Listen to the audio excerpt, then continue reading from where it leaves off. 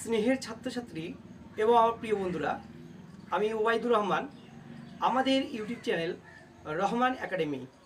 Rahman Academy YouTube চ্যানেলে সবাইকে স্বাগত। আজ আমি একটি অত্যন্ত গুরুত্বপূর্ণ বিষয় নিয়ে হাজির হয়েছি। বিষয়টি হচ্ছে দ্বাদশ শ্রেণির ইতিহাস সাজেশন। আমরা বিগত দুটি ভিডিওতে দ্বাদশ শ্রেণির ইতিহাসের সাজেশন দিয়েছিলাম। সেই সাজেশন দুটো ছিল প্রথম ও দ্বিতীয় অধ্যায় এবং তৃতীয় ও চতুর্থ অধ্যায়ের সাজেশন আজকে আমি তোমাদের সাজেশনটি কমপ্লিট করব। পঞ্চম অধ্যায় থেকে অষ্টম অধ্যায়ের মধ্যে যে প্রশ্নগুলি অত্যন্ত গুরুত্বপূর্ণ, সেই প্রশ্নগুলি আজকের এই ভিডিওতে আলোচনা করব। তো তোমরা দেখতে পাচ্ছ আমার হাতে একটি বই আছে। বইটি আমাদেরই প্রকাশনীরই একটি অত্যন্ত গুরুত্বপূর্ণ বই। সেটি হচ্ছে উচ্চ মাধ্যমিক ইতিহাস এক্সাম গাইড এমআর প্রকাশনী থেকে প্রকাশিত বইটি। আর এই বইটির সম্পাদনা আমি নিজেই করেছি। তো আমি সম্পাদক হিসেবে বলব তোমাদেরকে এই বইটির যে আমাদের প্রশ্ন যে নির্বাচন, সেই নির্বাচনগুলি তোমরা এই ভিডিওতে দেখতে পাবে এবং তোমরা যদি এই বইটি সংগ্রহ করতে চাও, অবশ্যই তোমাদের এই বইটিকে পাইয়ে দেওয়ার জন্য স্ক্রিনে একটি নাম্বার দেওয়া থাকবে, সেই নাম্বারে কল করলে তোমরা অবশ্যই বইটি পেয়ে যাবে। তো এমআর প্রকাশনী থেকে প্রকাশিত অন্যান্য বইগুলির কথাও তোমাদের আমি বলব। তো কথা না বাড়িয়ে আজকে শুরু করা যাক।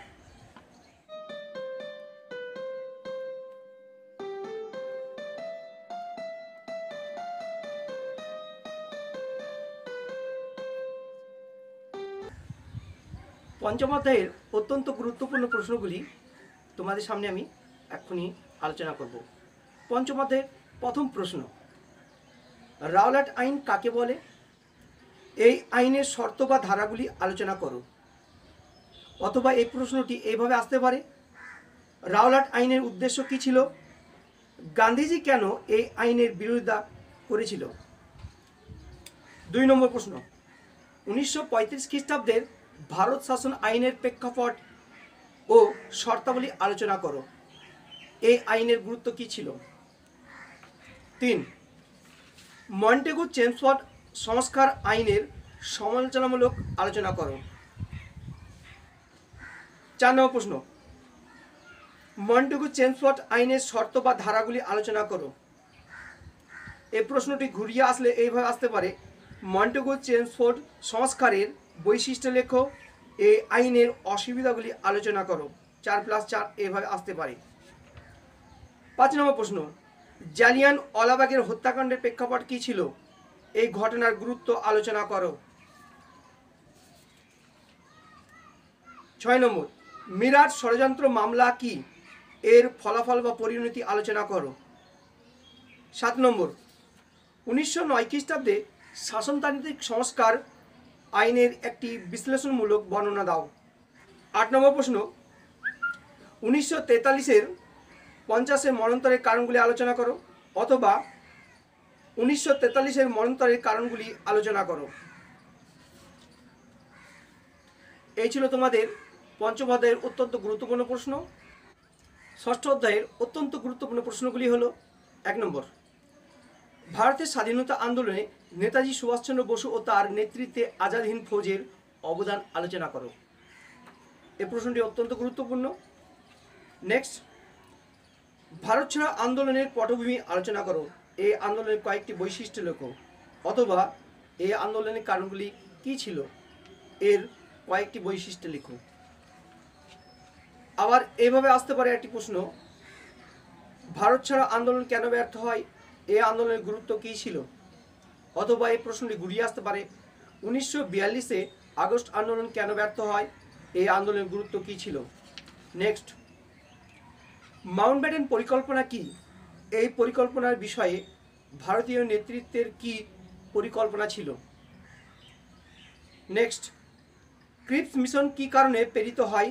এর শর্তগুলি কি ছিল? কংগ্রেস অথবা ভারতীয়রা কেন এই প্রস্তাব মেনে নেয়নি? নেক্সট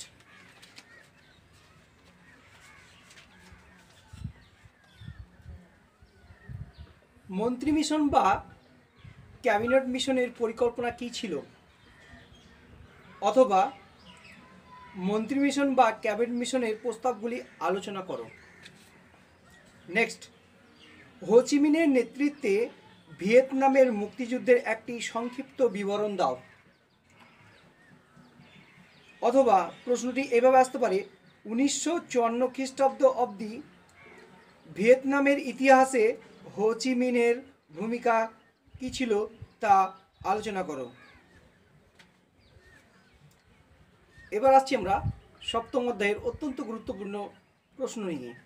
সপ্তম অধ্যায়ের প্রথম প্রশ্ন সুয়েজ সংকট সম্পর্কে কি জানো?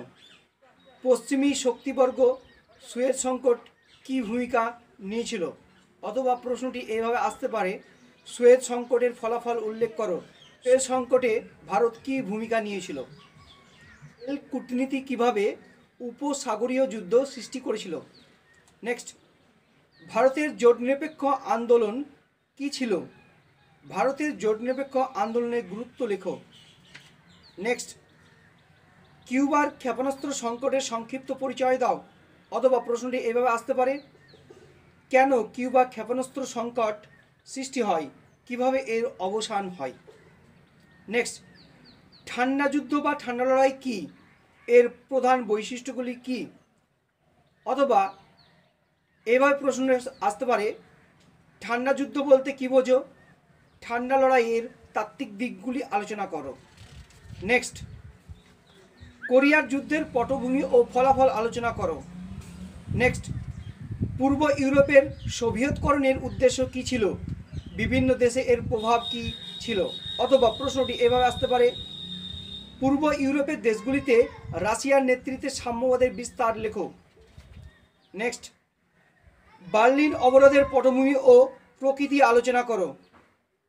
অথবা বার্লিন সংকটের পটভূমি ও গুরুত্ব আলোচনা করো।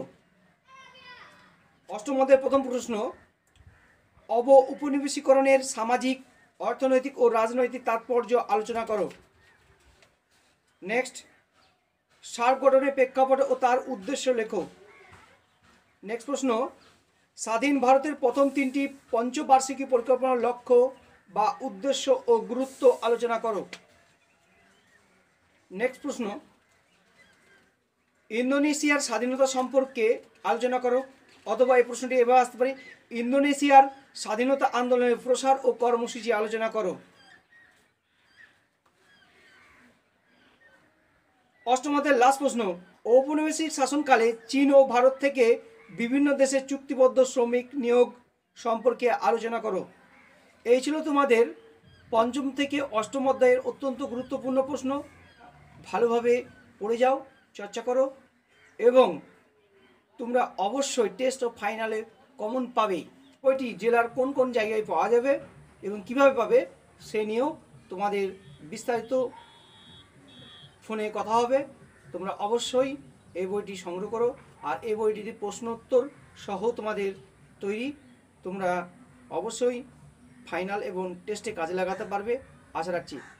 ভালো থেকো, সুস্থ থেকো, সঙ্গে থেকো।